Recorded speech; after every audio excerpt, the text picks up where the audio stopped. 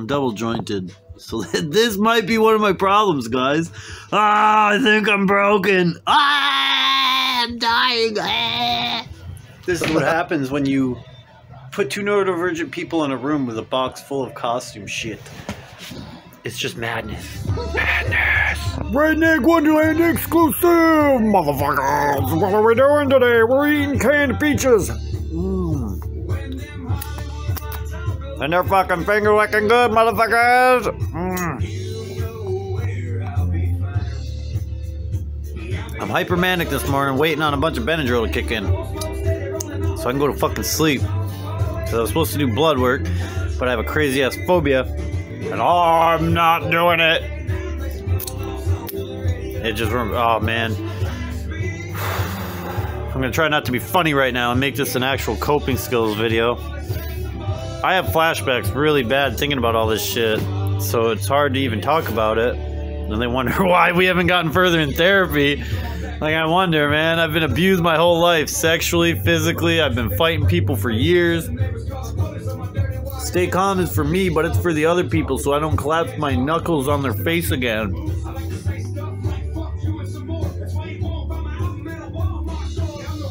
This is why I like Upchurch. He's just cussing and swearing, and he's just a real country. That's another point I should get at.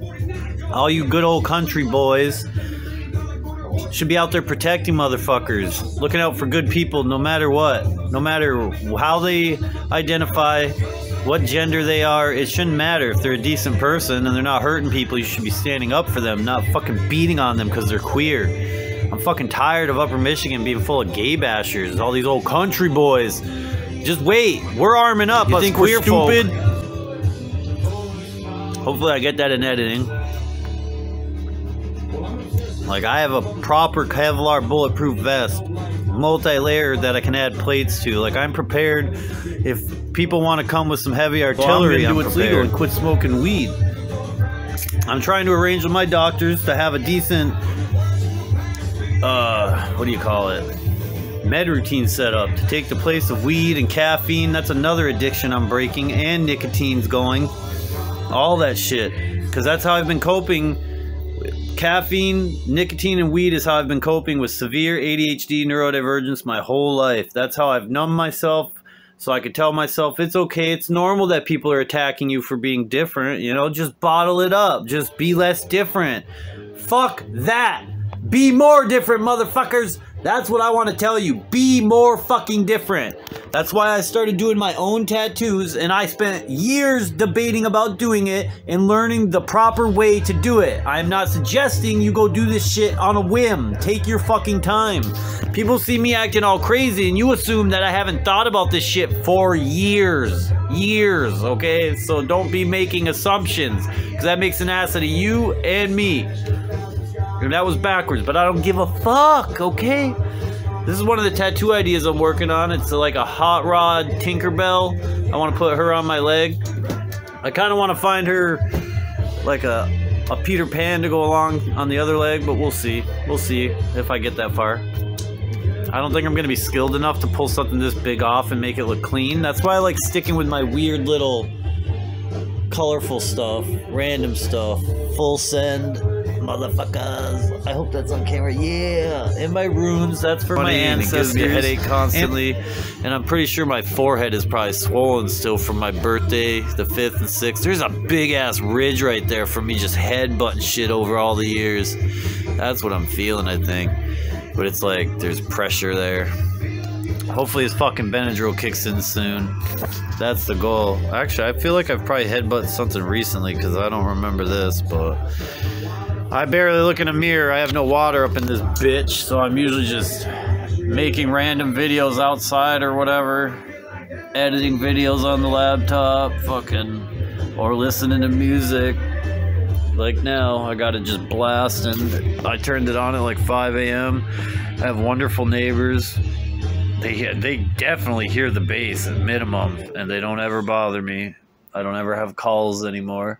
I've explained to people why it happens. I get manic as fuck because I'm trying to fight a bunch of crazy ass phobias that involve multiple crazy problematic times in my life, and it just sets me off really bad. And then all the pain I'm already feeling is amplified by my manic episode, and I just I shut down. Like my I should check my blood pressure on camera now. We're gonna do this. Oh yeah, I keep forgetting about these. This is my original tattoo I got from my friend Michelle at Impaled Tattoo. This woman that did this tattoo is a badass. She's part of what started me on my real journey to recovery. That's why I like to hashtag we recover every time I do. I'm thinking about Michelle at Impaled Tattoo, but all the rest I did myself as therapy to deal with this needle phobia that gets me like I am today.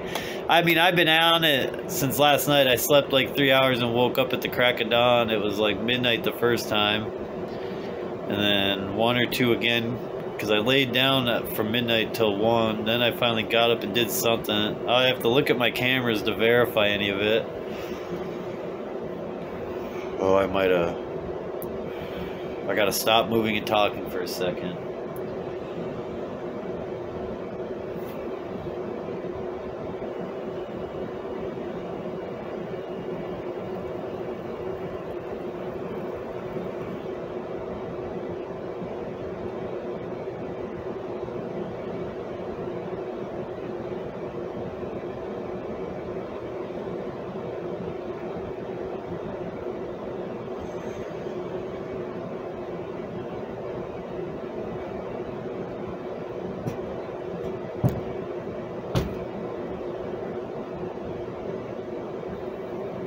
Oh, it's not as bad as I thought. It says 113 over 155. It's probably going to be reversed on this, but the bottom number is my pulse 66.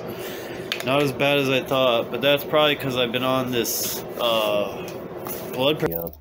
It's cooler out here. Uh, that's also why I haven't shaved in forever because it's a pain in the ass when you don't have flowing water. Some ingrown hairs rocking up here. Got some dark ass eyes, guys. Fuck my life. That's what makeup's for, though, right? Uh, what else should I say? What else is a good coping mechanism? Fuck, man. That Benadryl slowly but surely kicking in. It's gonna be nap time for me soon.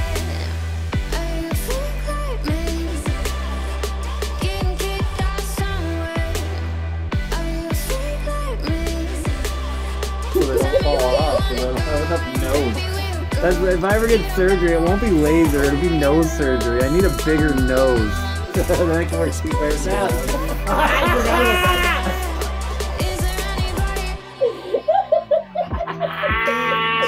Switch camera. Oh. See, I'm double jointed. So this might be one of my problems, guys. Ah, I think I'm broken. Ah, I'm dying. That's gonna be a short. That's where I'm gonna end this. All right, peace. I gotta go stretch that out. That's gonna hurt. I'm gonna feel that one later.